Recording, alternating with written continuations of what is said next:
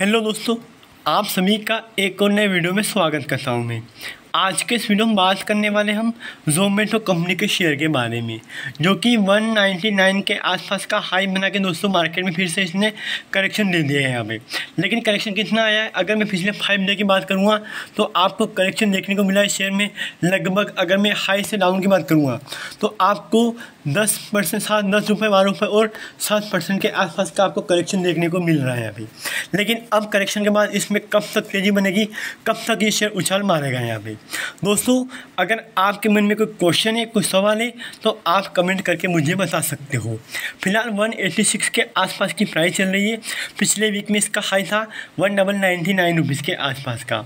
अगर पिछले एक मंथ की बात करूँगा तो यहाँ पे आपको दोस्तों सीरियसली क्लियरली आपको यहाँ पे तीस रुपये के आसपास का आपको रिटर्न देखने को मिला था यहाँ पे, उछाल देखने को मिला था यहाँ पे। अब मन में क्वेश्चन आपके ये आ रहा है कि टारगेट क्या लेकर चलना पड़ेगा इस बार का। देखो, अगर इस बार टारगेट की बात करूँ, मैं अगले वीक की या इस वीक की तो 188 से 195 तक का टारगेट आपको शेयर इस वीक में दे सकता है। दोस्तों, अगर मन में सवाल है कोई क्वेश्चन तो कमेंट कर सकते